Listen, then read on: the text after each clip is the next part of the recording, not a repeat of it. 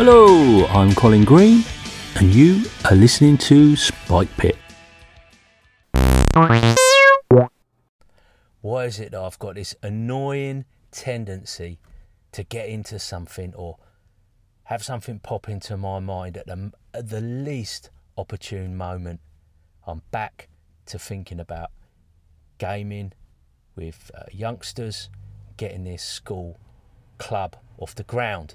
But I question the wisdom because uh, in September we'll have a new intake of students. It'll be my first proper year as a qualified teacher, and should I really be taking on a role playing game club uh, out of the gate like that? Oh, I don't know. I don't know.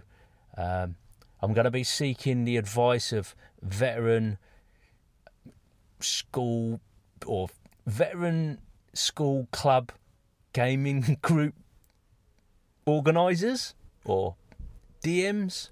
How would you phrase that? Not like that, anyway. Um, yeah, veterans of the school gaming club unite. Give me some advice. It's the old story procrastination phase to start with. Um, a little bit of initial enthusiasm, I guess, is the first stage. Then you move into the procrastination phase. Some of us uh, never leave it, um, it, and it's typically an, a, a long and frustratingly swingy series of decisions for me, and that is choosing the game initially. Now, I've got a few contenders. I thought about Maze Rats, um, but I think it might be just a bit too simple, not enough to get youngsters fired up. I think. Um, I think that's the sort of game that when you've played a bit and you're looking for something simple, you appreciate the minimalist nature of it. But, you know, I could well be wrong. And I certainly will be using the tables because I use them all the time, as regular listeners will be aware. The other game I talk about quite a lot is ICRPG. Now, I can see the style of that book and, and just the whole look of it the graphics really appealing to a, a younger age group. And I always think that the designer has got quite a youthful manner about himself in a way. He he he um he never seems to be all that pro or uh, child friendly. He he, he kind of goes goes to great lengths to say that he's, he's not a child friendly YouTuber and yeah, I mean, I understand why. Maybe he worries about being a bad influence. Certainly, um, yeah, I mean, s- some people would be would be um, put off, but by the by the swearing and the drinking and stuff that goes on, and obviously, you, you know, you, you you can't be um, holding Hank up as a a, um, a great example for, for children. But then, by his own admission, he's not trying to be. So that I don't want that to come across as a criticism. But I love his stuff, and I, I think he has got that youthful way about him and that energy. That yeah, I, I would actually love for him to have a more child friendly show because I, I, I think he'd be a great inspiration to young creators. But that that's by the by. Um, my my son mentioned the Black Hack. Of course, that's a favourite for me. Nice. Uh, I always recommend it as a, a really nice self-contained box set.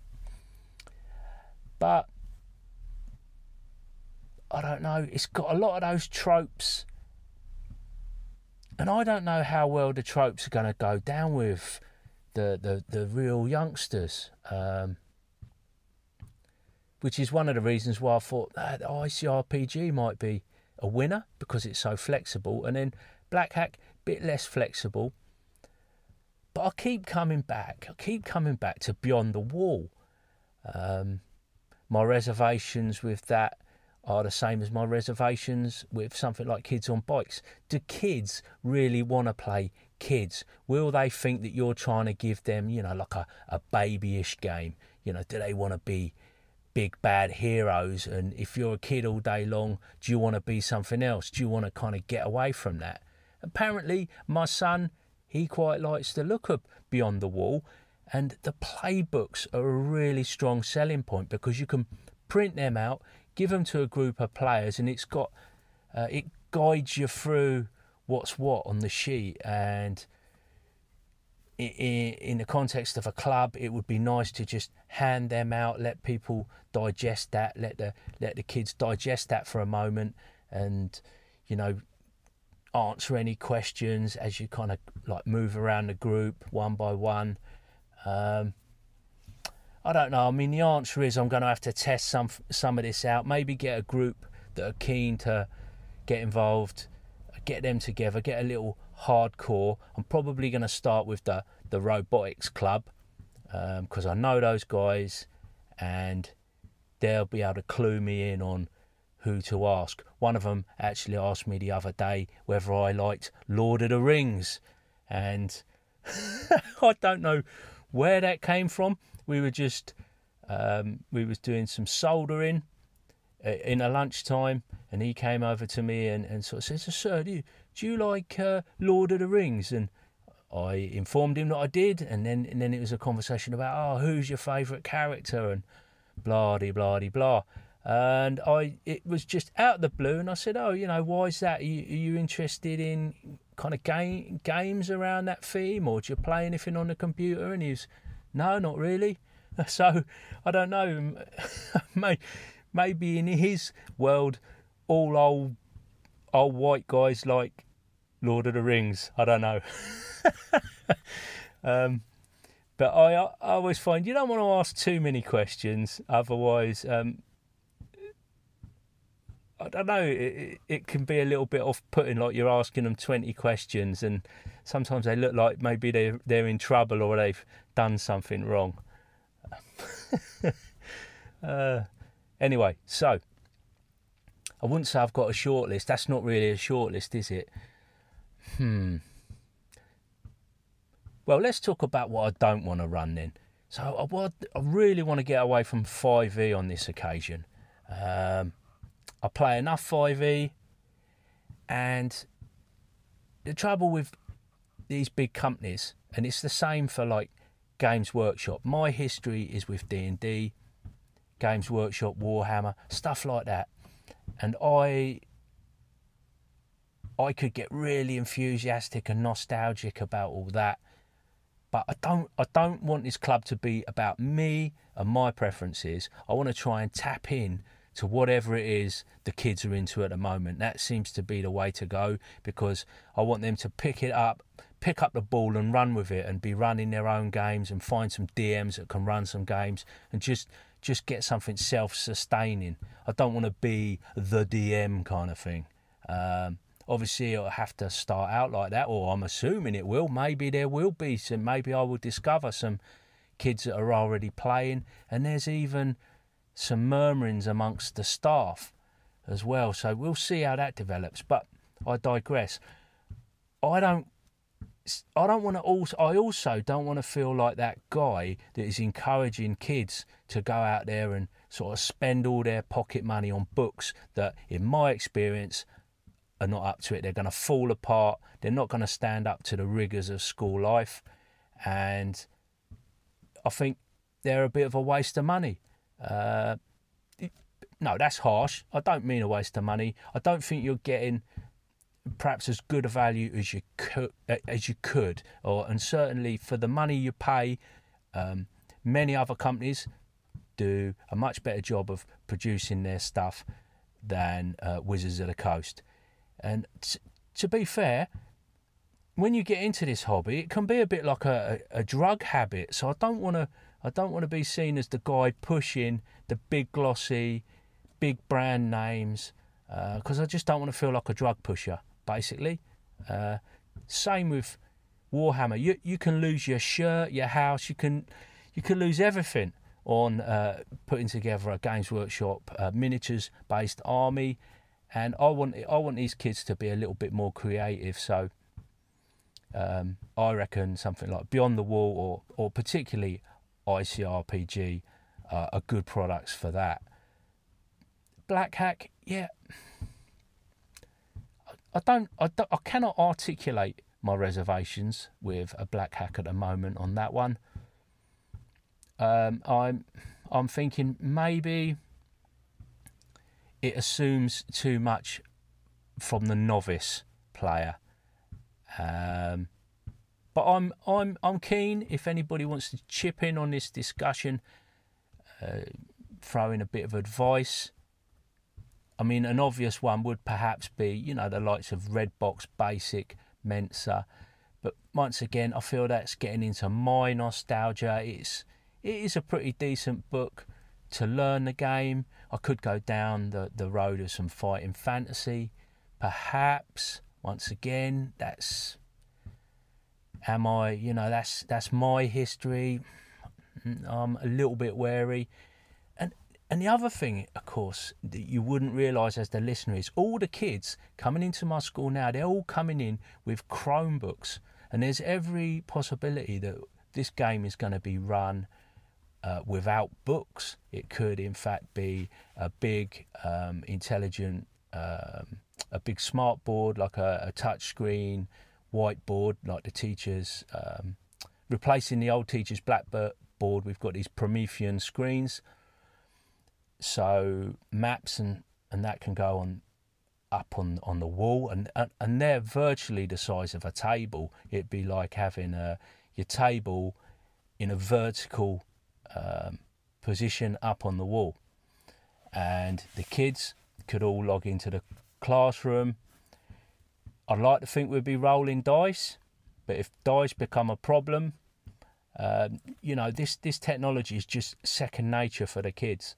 So I've been getting more interested in in that because of my work, and I think um, it might be a little bit of an easier sell in the school if I'm saying, you know, we're we're promoting familiarity with these devices, so the kids, you know, that um, if if we can get them interested in the hobby, maybe they'll they'll they'll get a little bit more proficient with using their d- device and layout and stuff like that. Because the kids their idea of layout in Google Slides when they come into the school it's uh, pretty horrendous. Even though they're on devices all day they they can navigate devices but when it comes to actually being creative with their devices they they are not awesome obviously you, you, you can't generalize but it, it is something that we have to work on and this might be a way to encourage them to to um, push push their limits a little and develop their their skills using the uh, Google Education suite. Yeah, I, I, think it's interesting, but uh, I could probably ramble on for hours about this. But let's draw a line under it. There, I feel I'm already repeating myself. Oh, Joe, uh, I know you like a bit of basketball. If you're listening, that uh, noise you can hear in the background is um, I'm at my son's martial arts and I'm backed up to a basketball kid, uh, basketball kid, backed up to a basketball court and there's a kid shooting a few hoops. So that's that's cool. He's spending the evening getting a bit of exercise, shooting a few hoops whilst his his little brother's in there doing the old bit of the old Cobra Kai stuff. Talking of Joe, I've got some RPG adjacent news. Now, a little while back, there was loads of talk about what's better, vampires or werewolves. I'm fully in the uh, vampire camp. However, just lately, I have inadvertently got a little bit closer to werewolves. But because of spoilers, that prevents me from saying any more over the uh, bank holiday weekend recently. I think it was bank holiday weekend. Um, English Heritage had a uh, vampires at Whitby Abbey uh, event, and it was to mark the 125th anniversary of Bram Stoker's Dracula. So, believe it or not, in this uh, little town, Whitby, we got the old ruined abbey up on the uh, up on the hill there, up at where sort of a cliff come hill, uh, quite near the sea. 1,369 people turned out you know, dressed as vampires to mark the occasion, and that was in fact a world record breaking turnout of vampires in one place. Must have been quite a, a sight to behold. There was uh, vampires, young and old. I believe there was people turning up with their pets, uh, dressed as vampires. So, yeah, I, I didn't know it was going to happen. I would have actually have quite liked to have seen that, but Whitby is uh, quite a, uh, a trudge for me. I, I'm not sure the rest of my family would be quite so enthusiastic to go along to such an event. Talking of enthusiasm as well, segueing onto Spelljammer, the the uh, the hum is rising as the Wizards talk about their Spelljammer release. I never played Spelljammer back in the day.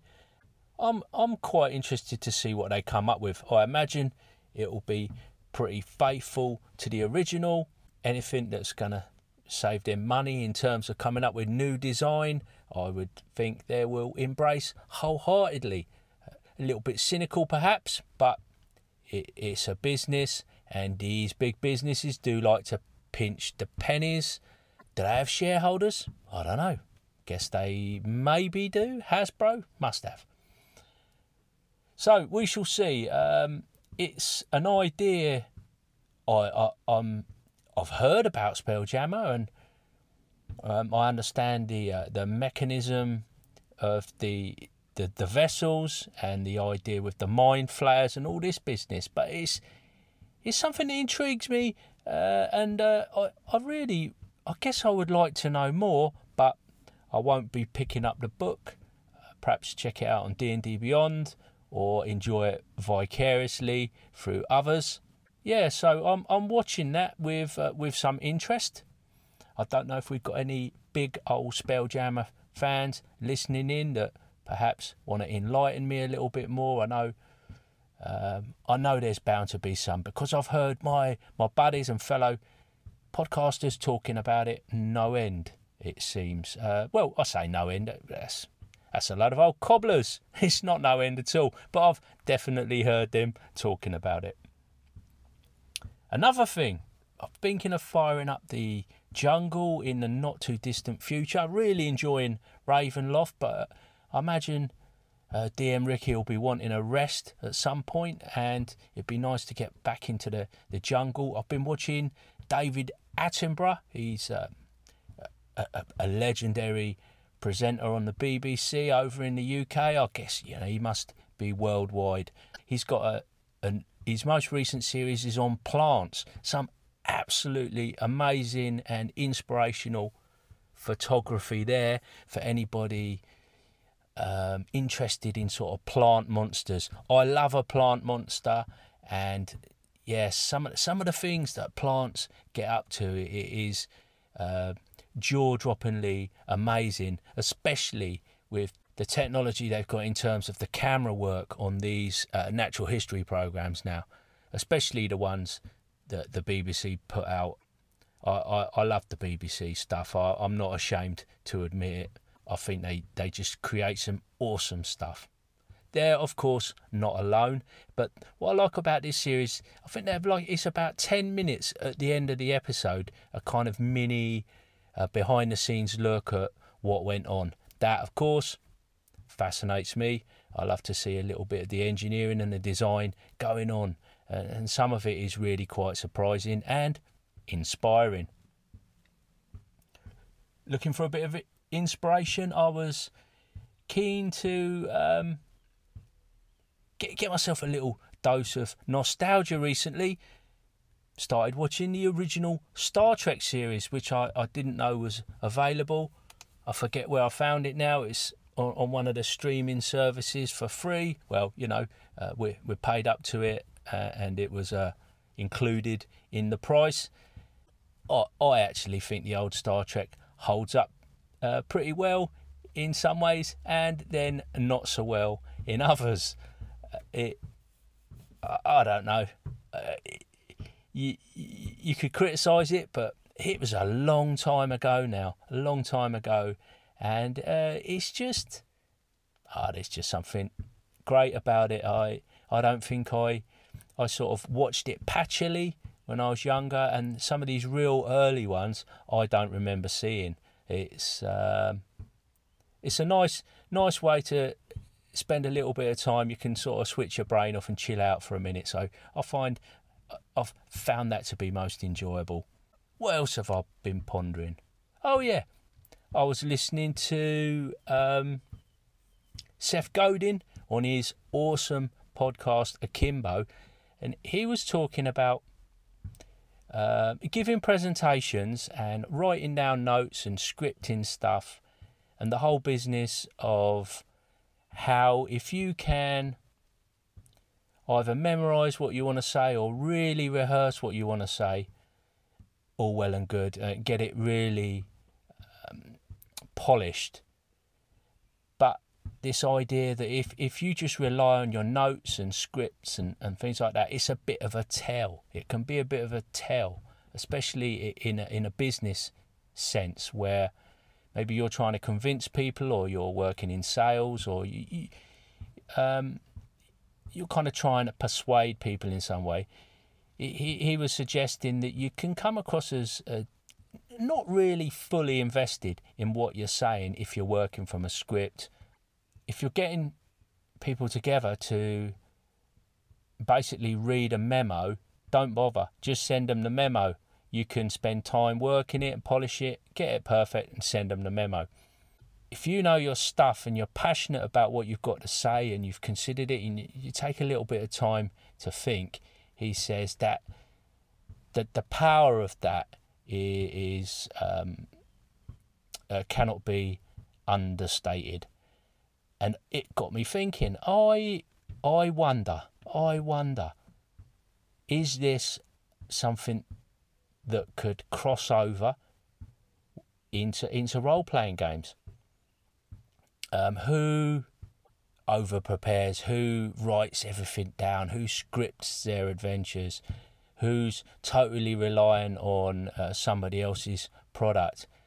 And I'm wondering are are we are we better GMs? Can we improve our, our DMing and GMing chops if we could be more spontaneous and I don't know, just just play off the cuff as much as possible? Is there something that is desirable, and is is it in fact superior? You know, should we be really working on our maybe memory skills or or I don't know, I don't even know what, relying less on all the, the books and the charts and the, um, the the written word, and should we be should we be going for that old style storyteller vibe? Uh, I'm sure there's plenty of DMs out there that are, are, are awesome at that, and I'm I'm just curious as to what people maybe think. I don't really have an opinion, but I think there's something there.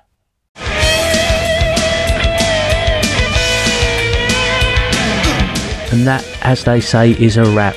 Big thanks goes out to you, the listener, for taking a bit of time out of your day to listen to Old Spike Pit. Take care, and I'll catch you later.